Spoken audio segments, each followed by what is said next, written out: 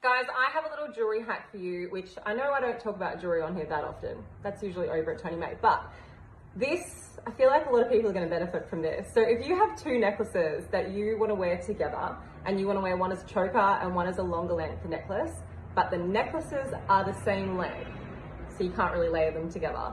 This hack is for you. Alrighty, grab your two necklaces that are the same length, and what you're gonna do is you're gonna attach the lobster clasp on one necklace to the extension chain on the other necklace. And then you're gonna have one long continuous necklace, which you're gonna take and you're gonna wrap around your neck twice. Make sure you've got your pendants at the front so you can shimmy them around and then you can easily adjust the length. So you can pull one of them long or you can pull the other one short and there you go. One's a choker and one's a long length. And that is your jewelry hack, people.